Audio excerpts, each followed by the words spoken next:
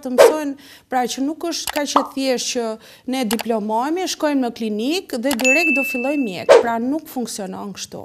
Ti duhet të fillosh nga zero, duhet të bësh ndihmësin tim, pra ose të kolegut tjetër, duhet ta ndihmosh me pastrimet, pra një ndër probleme që kanë të rinjtë të paktën në profesionin tim, Është e kanë shumë problem pastrimin, kjo është një gjë shumë problematike, sepse... Nuk dinë? Jo, nuk duan, e kanë bezdi. Pra, në momentin... Po pra, në momentin që mendojnë, diplomojnë, kujtojnë se do vijnë aty dhe do bëjnë mjekun, pra, dhe gjithçka...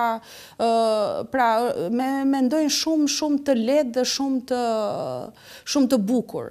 Ideja është që duhet gjithmonë njeriu të fillojë nga zero. Pra, në momentin ti duhet bësh një gjërat primare, Pastaj ti në faza të ndryshme do arrish aty tek faza e mjekut. Një prej arsyeve që mendoj që njerëzit përtej profesionit, se ti e di mirë profesionin, unë mendoj që përtej profesionit nga ana njerëzore, të rinjtë tani nuk kanë modele, modelet janë ato makinat që që parkojnë te klinika jote që bllokojnë rrugën, ata çunat e drogës apo vajzat që janë në funksion të çunave të drogës dhe ti mendon që këto paratë e shpejta Pastaj do ndodhë nami, edhe pse të rrish pastrosh ti qenin kur ti, po, je duke bërë shpinë e barit apo duke bërë eskortën në po, Dubai. Po.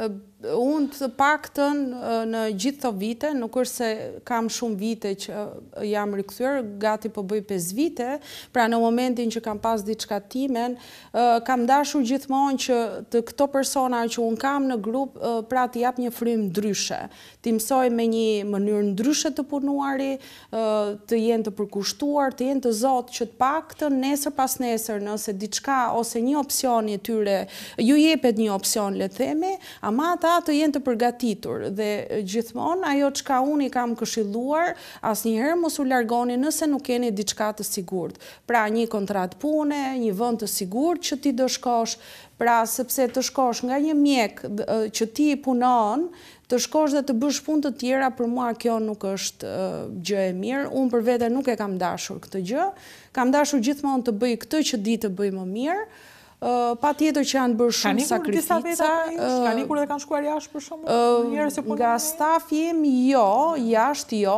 Kanë ikur nga unë dhe kanë bërë punë të tjera, që me, le themi, për shembull call center, është një nga punët që, sepse janë punë që ata nuk lodhen shumë, nuk kanë shumë përgjegjësi dhe kanë më shumë të ardhura.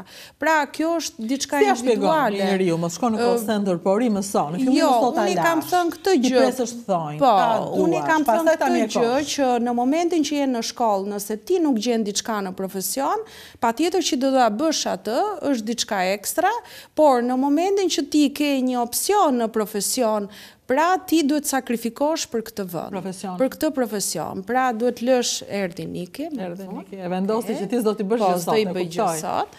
Kështu që pra ideja është që jo të gjithë e kuptojnë këtë gjë dhe pjesa më e madhe janë larguar pikërisht për këtë arsye. Pra për të fituar diçka më shumë, por harrojnë që tani janë të rinj, por në momentin që ti do jesh 40 vjeç, siç jam unë sot, Pra ti do kesh të tjera gjëra, pra do shikosh veten që ti je pa një profesion, pra ti vërtet e bën këtë punë, por këto punë janë punë momentale, dhe themi që nuk kanë të ardhme.